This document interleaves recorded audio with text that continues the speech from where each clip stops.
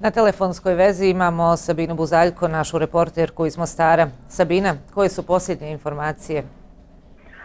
Riječ je o katastrofi kako Jablanica ne pamti informacije samo pristižu, evo kao što smo mogli čuti, štab civilne zaštite Hercegovačko-Neretvanskog kantona je u stalnom zasjedanju još od tri sata ujutru. Oni su potvrdili prekid putne komunikacije, došlo je do velikog broja klizišta na kuće i odrona, odrona na ceste.